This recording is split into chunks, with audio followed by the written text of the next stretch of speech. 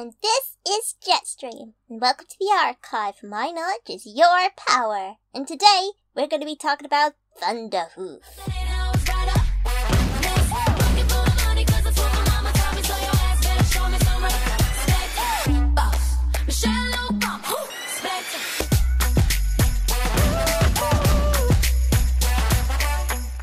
Okay, just gonna say, this dude is pretty popular.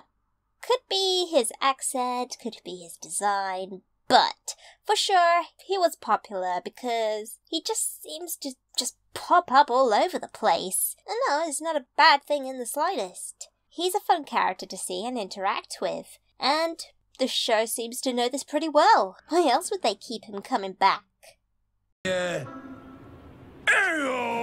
Hey, hi, how you doing? Come here, you lying no good bag of bolts! I assume you two know each other?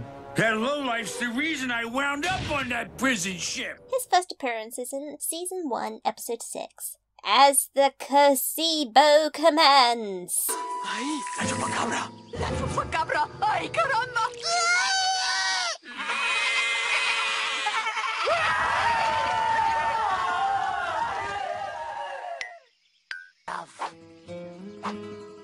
La chupacabra.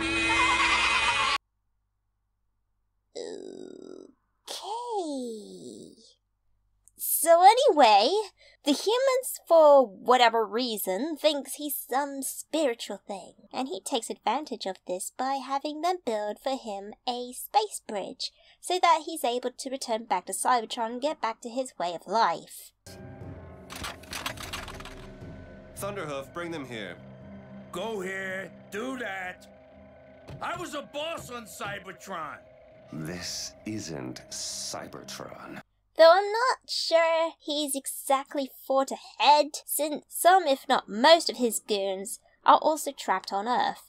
Unless he's thinking of getting some new goons, which I think is pretty possible. But how does he know his land, that he's so unfairly taken from others, is still even there? Someone else could have claimed it off him or bought the land. I mean, he's locked away. It's likely that someone would see this opportunity and take it. But then again, I know next to nothing about and stuff, so who knows, right? Maybe he has legal documents. sure.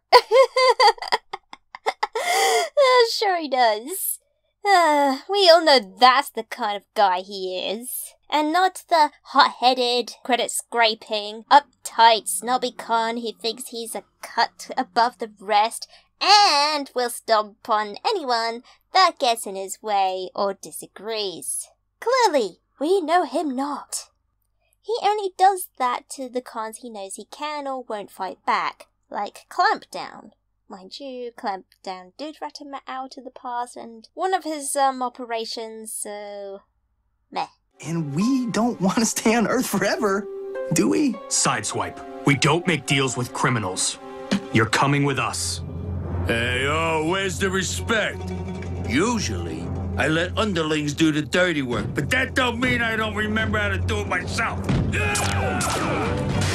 Anyway, failing to have his ground bridge working right, which is weird because he stated earlier I've been through my share of space bridges, but I ain't never seen one do that.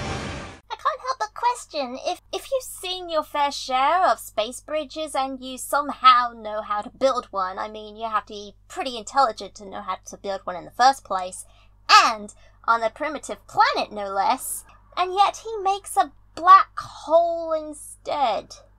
Well, whatever, it turns into more or less a ground bridge at the very least, teleporting him to another place on Earth, where he bumps into Steeljaw, um, who just makes him part of his pack.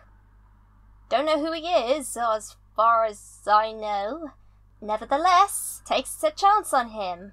Lucky, lucky. I'm gonna make him an offer he can't refuse.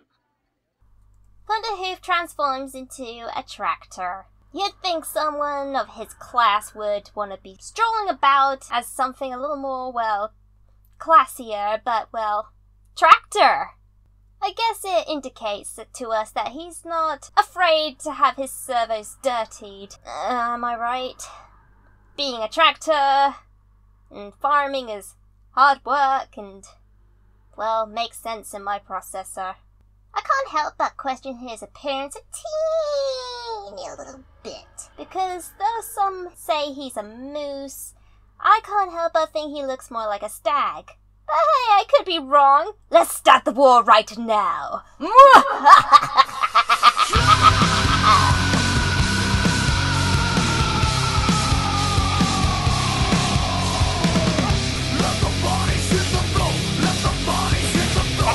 Fight, my pretty. Fight, fight! And by the way, you will remember this guy and his sound catchphrase thing. Ayo! Ayo! Yeah, let us seep into your brains, where his image will remain until the end of time. And all it will take is that little noise. Ayo! I could mention all the times that Thunderhoof shows up again, but then I might be here for a little while, and that could also mean that I have nothing better to do than to look up every episode. But I'm not that willing, so I got a tea set and a few dolls waiting for me to give them a tea party. That, guys, is a better use of my time.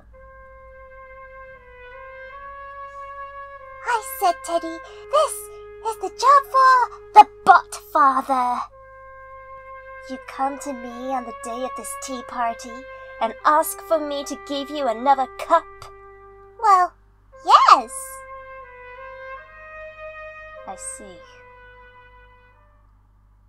Okay, cool. Well, who wants the cookie?